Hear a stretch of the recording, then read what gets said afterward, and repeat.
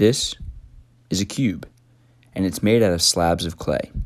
To make a clay cube, start by making a paper template in the shape of your base and walls.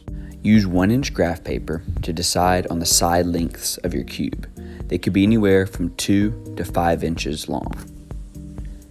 I'm going to go with a 3 inch cube. So I'm going to draw out a 3 by 3 square. In the case of a cube, this 3 by 3 square will be the base and sides of the cube.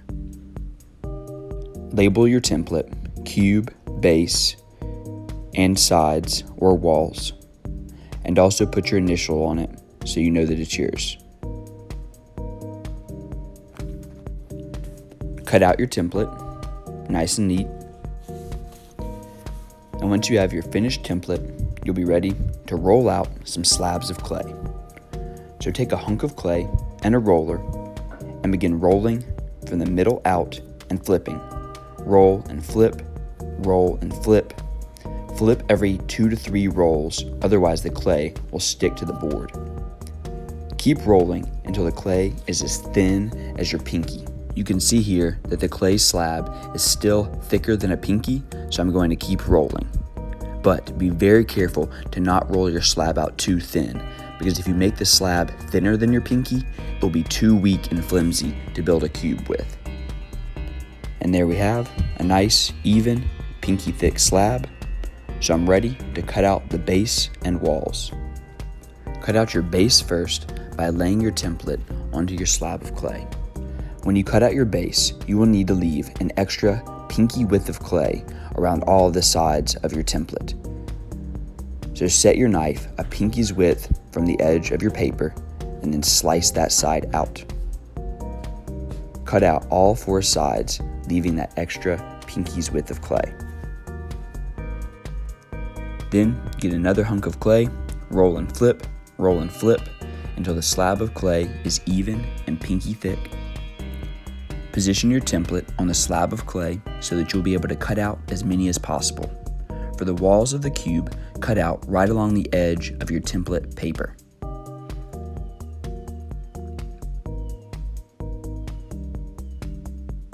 You will need to cut out four wall pieces for the cube.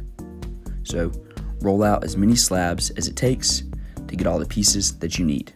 For a cube, you will need four walls and two bases one for the bottom and one for the top. Remember that when you cut out your base piece and your top piece, leave that extra pinky's width of clay. Once you have six total pieces, a base, four walls, and a top, you're ready to put them together. They will fit together something like this. But usually it takes a whole class period to roll out and cut out all of your pieces and you will need to package them up with a piece of paper between them so that they don't stick together overnight. So sandwich slivers of white paper in between every one of your pieces in a nice, neat package. You can then put that on your shelf, and tomorrow you'll be ready to attach them. You cannot simply stack your pieces together and expect them to hold up. You have to actually attach them. But first, make sure you understand how they fit together. The wall pieces will fit together on top of the edge of the base in an alternating pattern where the end of one wall touches the side of the next. Like that. Notice that pattern, how the end of the wall touches the side of the other. This is the strongest way to attach your wall pieces. There may be some extra on the edge of your base, and you can cut that off with a fettling knife. Just be careful not to cut off too much. Once you have your pieces positioned, you're ready to attach them. To attach them, scratch up the attachment points with a metal scoring disc. Go back and forth with the scoring disc to create scratches that act like clay Velcro. Anywhere where two separate pieces of clay touch will need to be scratched up very well. So figure out how the pieces fit together and make sure you scratch those areas. Some of your walls will be scratched on the edge, some of them will be scratched on the bottom, some on the side.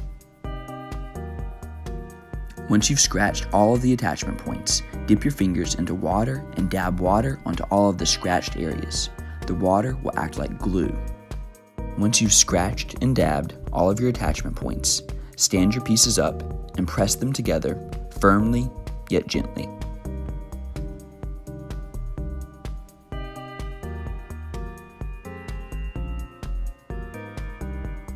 You should feel your cube becoming solid.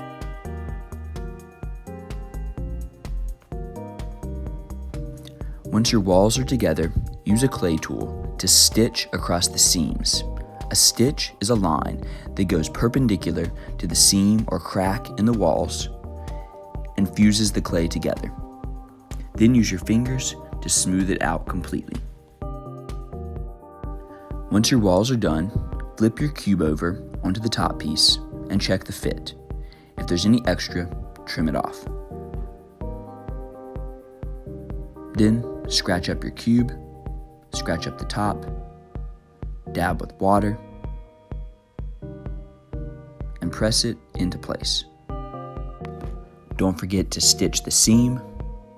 And if you notice your cube sticking to the workboard, put a piece of paper under it so that it doesn't get stuck. Smooth it, and you'll have a finished cube. Congratulations.